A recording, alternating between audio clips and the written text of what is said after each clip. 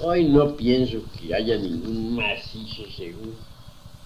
Téngase en cuenta que, el fondo de los océanos, tanto en el Atlántico como en el Pacífico, está lleno de profundas grietas.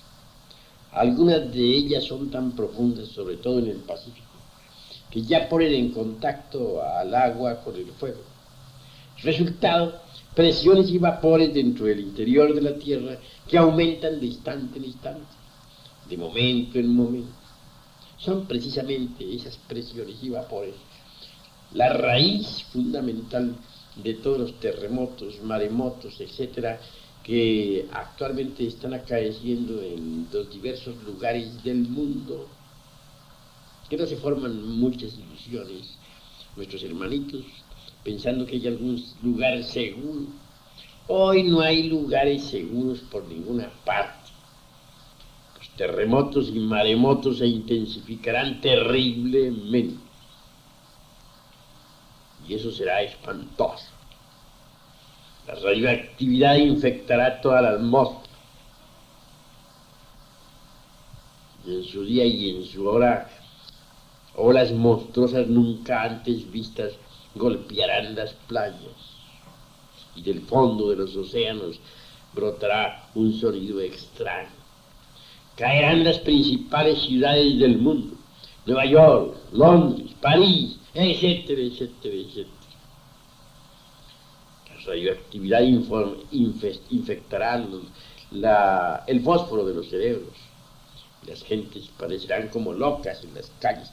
Entonces habrán escenas dantescas no hay duda que estamos en los tiempos del fin y que la gran catástrofe se avecina. Eso no lo podemos negar.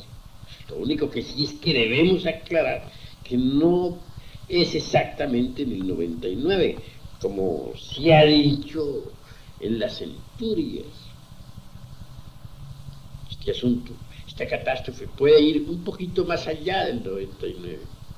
Tampoco quiero decirles que está demasiado lejos, porque en, esa, en este caso falsearíamos la verdad. Verdad que ya Hercólogos, el planeta que va a producir la catástrofe, está a la vista de todos los telescopios del mundo. Viene a velocidades gigantescas rumbo a la órbita terrestre. Cuando se vaya aproximando, lo primero que saltará hacia la superficie será el fuego de los volcanes, el fuego líquido, que originará innumerables cráteres. Los terremotos irán secuencialmente apareciendo por aquí, por allá y acullá. En el máximo de acercamiento del Corvus se producirá una revolución total de los ejes de la Tierra. Los mares cambiarán de lechos y morirá toda la humanidad.